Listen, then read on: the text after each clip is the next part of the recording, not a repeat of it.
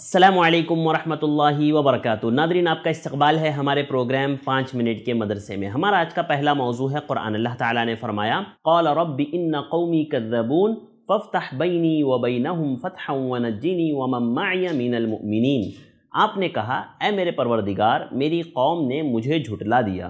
बस तो मुझमें और इनमें कोई कतई फ़ैसला कर दे और मुझे और मेरे बा ईमान साथियों को नजात दे।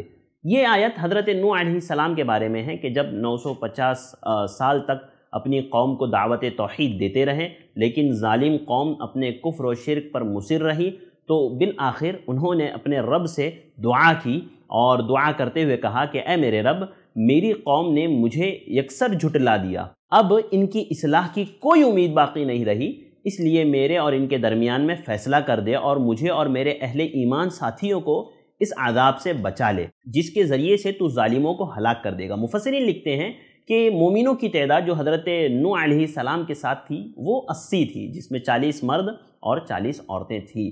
तो इस आयत से हमें दो तीन चीज़ें पता चलती है। एक तो ये कि दावती मैदान में जो लोग दावती काम कर रहे हैं, अगर उनकी दावत से लोग अगर सही रास्ते पर नहीं आ रहे तो उन्हें जो है रुकना नहीं चाहिए, उन्हें अपना काम करते रहना चाहिए, क्योंकि हज़रत नूह साढ़े नौ सौ साल तक करते रहें और अस्सी लोग ही ईमान लाए। तो आप कैलकुलेशन कर लीजिए कि कितने होते हैं, कितने लोग सालों के हिसाब से होते हैं। तो बिल्कुल भी जो है, छोटा दिल ना करें, अपना काम करते रहें। दूसरी चीज़ ये कि इंसान को अपने साथियों की फ़िक्र होनी चाहिए। आपके साथ जो लोग हैं, जो नेक है, सौले है, आपके दोस्त हैं, आपके दोस्त अहबाब हैं, आपके रिश्तेदार हैं, आपके घर वाले हैं, आपको उनकी फ़िक्र होनी चाहिए। जैसे हज़रत नू सलाम को अपने साथियों की थी, अल्लाह ताला से उनके लिए दुआ की, हमें भी चाहिए कि हम अपने भाइयों के लिए दुआ करें। हम उनके लिए अल्लाह ताला से मांगे, यहाँ तो लोग एक दूसरे से जलते हैं, तकलीफ़ पहुँचाते हैं। और तकलीफ़ पहुँचने की दुआएँ करते हैं। बहुत गलत बात है। मुझे और आपको इस आयत से सबक हासिल करते हुए ये चीज़ सीखनी चाहिए और हमें अल्लाह रब्बुल से अपने साथियों के लिए, अपने दोस्तों के लिए दुआएँ भी करनी चाहिए। नादरीन चलते हैं हमारे आज के दूसरे मौजू की तरफ़। हमारा आज का दूसरा मौजू है सुन्नत।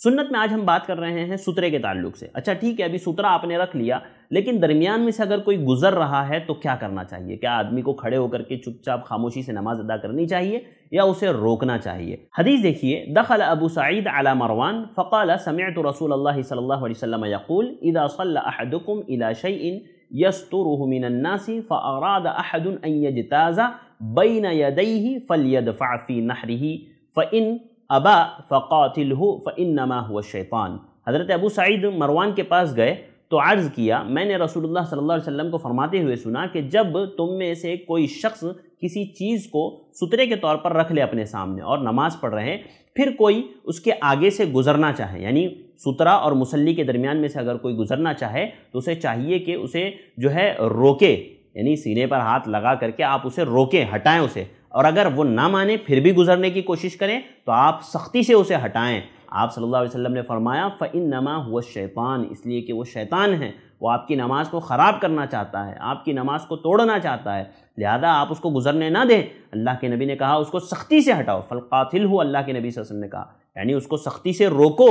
और इसी हदीस की शरह में अबू दाऊद कहते हैं कि हज़रत सुफियान सौरी का बयान है कि मैं नमाज़ पढ़ता हूँ और कोई आदमी मेरे सामने से अगर गुज़रता है तो मैं उसे रोक देता हूँ। तो तरीक़ा ये है कि जब आप नमाज़ पढ़ रहे हैं, सुतरे और आपके दरमियान में से अगर कोई शख्स गुजर रहा है, चाहे वो जानबूझ करके या अनजाने में तो आप उसको हाथ से रोक ले। इससे नमाज़ में कोई खलल नहीं होगा। लोग समझते हैं नमाज़ ख़राब हो जाएगी आपकी। आपकी नमाज़ ख़राब नहीं होगी। अल्लाह के नबी ने जो काम करने के लिए कहा है, वो हमें करना चाहिए। जैसे कि वो रिवायत आपको पता होगी, अल्लाह के नबी वसल्लम नमाज़ पढ़ रहे थे, हज़रत अनस आकर के अल्लाह के नबी वसल्लम के बाएँ जानब खड़े हो गए। आपने ऐसा पीछे से हाथ डाल के उन्हें जो है ऐसा करके सामने लिया। तो इस हदीस से अल्लाह के नबी वसल्लम ने हरकत की ना, नमाज़ में कितनी हरकत की कि यहाँ से घुमा करके उनको यहाँ पर लाया। क्यों? क्योंकि नमाज़ का एक हिस्सा उसमें फौत हो रहा था। वो ये कि इमाम के दाएँ जानब उनको खड़ा होना था, वो बाएँ जानब खड़े हो गए। लेकिन अल्लाह के नबी सल्लल्लाहु अलैहि वसल्लम ने उनको सही किया। लिहाजा मुझे और आपको भी चाहिए कि हम नमाज़ में होने वाले खलल को रोकें। और इस तरह की चीज़ों पर अल्लाह रब्बुल आलमीन मुझे और आपको अमल करने की तौफ़ी अता फ़रमाए। नादिन आज के लिए बस इतना ही। मुझे दीजिए इजाज़त इन कल फिर मुलाकात होगी कुछ और बातों के साथ। असलकम वरहमल वर्क दीन की बात आम करने में आई प्लस टीवी की मदद करें।